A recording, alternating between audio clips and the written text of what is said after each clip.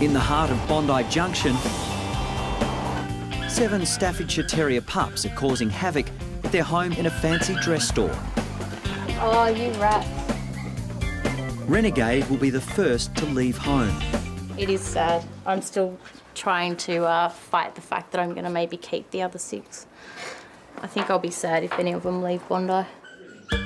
But before Renegade can go to his new home, Nerida's taking the whole family to the Bondi Clinic for their vaccinations. And they're still asleep. Chris has just returned from the reptile park and is back in his comfort zone. Mona doesn't do a lot, does she? The team includes Mona, 3.64 kilos.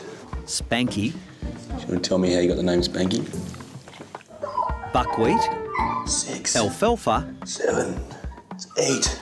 and Miss Lilu.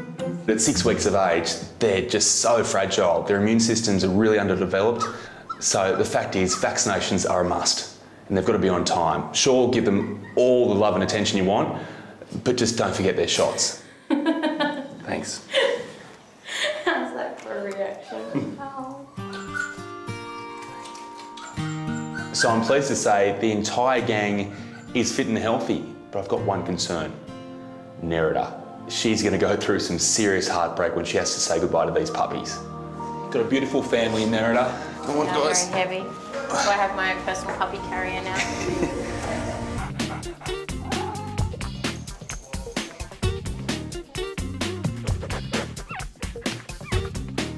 We've had some pretty unusual orphans land on the front doorstep of the clinic. But I've got to say, this latest one, she's something special. The Bondi Clinic has been a foster home for everything from possums to birds, even joeys.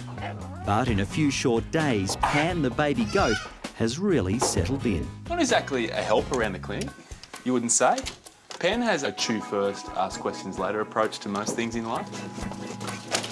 Oh, we love having Pen here. The vet nurses have all fallen so in love with Pan. But there's a very special attachment between Liesl and her. Never lets her out of her sight. If you ask me, Pan thinks Liesl's a mum. She just kind of puts a smile on your face when you see her. When you hear her, you walk past in a bad mood and you hear her and, man, oh, someone loves me. As much as we do love having Pan around here, the reality is a vet clinic isn't the ideal home. She's eating anything and everything, so we've got to find a place for her in Bondi. That's not going to be easy. They've got to understand her needs. After feeding Frank, Chris is on the road to answer an SOS call from Linda. So he just hassles her and just, Yes. when he's not in his little chastity cage, he, he's. Yes, yes, he jumps there. on her a lot. Um, He tries to make babies. Do you want me to get him out? I wouldn't mind seeing it. Bunny's fallen in love with his Flemish giant flatmate. He just won't leave five-year-old Archelina alone. So, Chris, you can see the problems we're having. Fairly, I don't know, I mean, it's, it's, a, it's a pretty subtle gesture that Bunny. Naughty bunny, naughty boy, naughty. the thing about rabbits is they grow up very fast. They're sexually mature from eight weeks of age. He's four months of age, so he's almost in his prime. But, Chris, you must know yourself how awful it is when you get un- unwanted attention from the opposite sex. I wouldn't So it's wouldn't- horrible, isn't it? I it? wouldn't know what you're talking about. I've never had unwanted attention of, of that variety, if that's what- if that's what you mean. Poor Archie, look. it's disgusting. and it gets very tiresome oh. for Archie. Oh dear, Bunny, stop it. So we need to castrate him. Okay, wow. And he, but he's a bit small, isn't he? No, they're, I, they're there. They're there, they're there. Oh, they're That's there. good. Okay. Yeah. Whoop, he doesn't like that. So the only real solution here is the snip. Get rid of those hormones altogether and hopefully Bunny will start behaving himself. But that's no guarantee. You see, this could be dominance related rather than hormone related. If that's the case, then Bunny needs a new address. Bunny, put it away.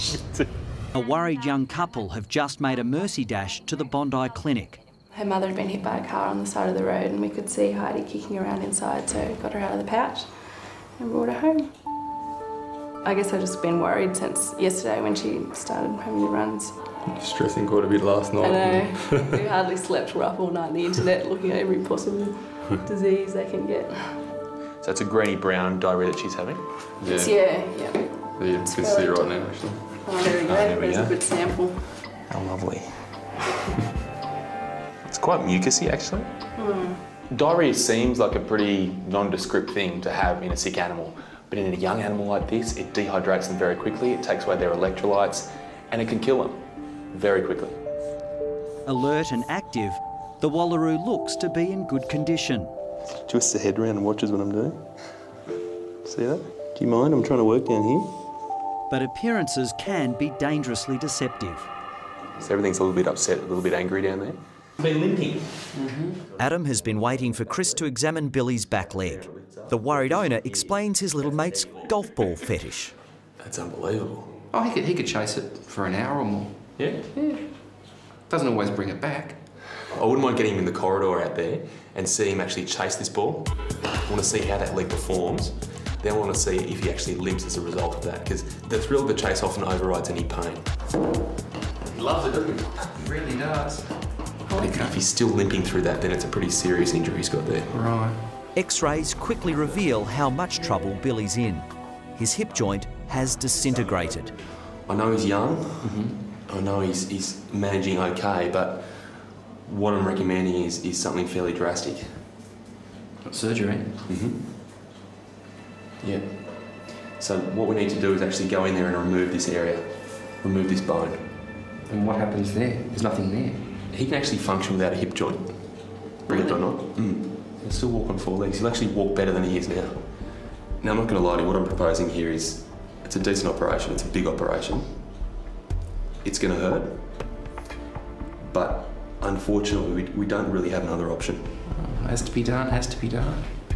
Um, I can't leave him in pain like this. It's hard to sort of describe. I mean, maybe in some ways I've got a bit more admiration or respect for him of just being able to get through all this without really showing any discomfort or problems, not wanting to be a burden on me. That's pretty amazing. It's a young dog with, with it's quite a chance there that he, he'd come out second best. It's 1.07 kilos. The zoo is coming to pick him up tomorrow, but in the meantime, we need to find a nice little spot to get his strength back. We're absolutely chockers out the back. There's so many dogs and cats out there that are just going to add to his stress. So I've organised some alternative accommodation. Be around 60% capacity in terms of the area of his lung that was actually working. Remember this? Yeah. Now he's nudging around 90%, I'd say, just listening to his chest. The lungs sound clear, there's none of those awful crackles that we had last night. I've decided he doesn't. Chris and Sarah are trying to tempt the miserable Moggy with some chicken. It's hot chicken too. Let's let's not underestimate Yeah. the effort that we've gone to here. It's the real deal, man. It's He's understandably suspicious of the entire human race. you ever heard of anything like this before? No, no, nothing like this. It's quite horrifying, actually.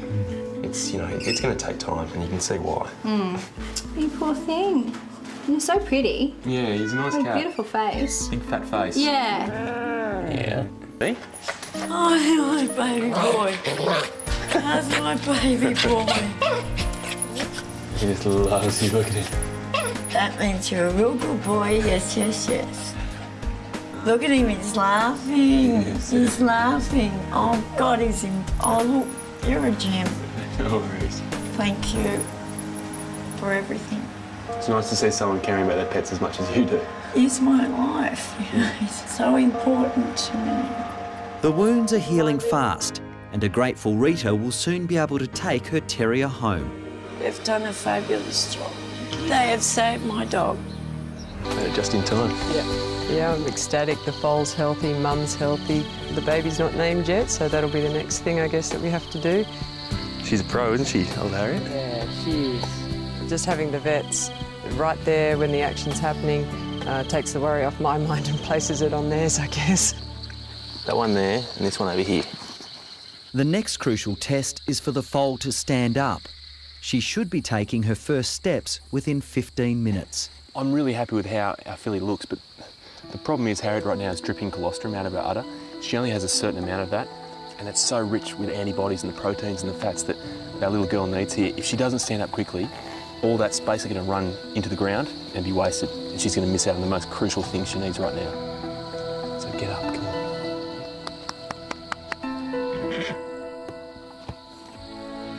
Oh, so close. Give it another go. Here we go. Hey, look at you. hey, well done. You're up.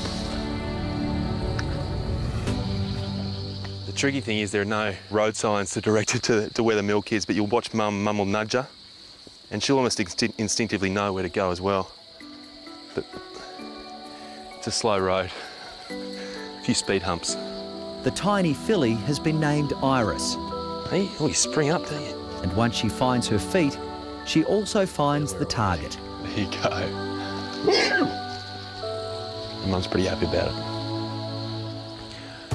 I guess after all the worry in getting here and, and making sure everything was okay, to, to now see a, a stunning foal in front of me, taking her steps with milk in her belly and a contented mum, what more can you ask for? Good night, Harriet. Good night, little girl. Well done, both of you. Hi, I'm Dr. Danny Dusek from Bondi Vet. If you love our show and want to see more, plus some amazing content about pets and how to care for them, hit the subscribe button. Click that little notification bell and we'll see you on our next video.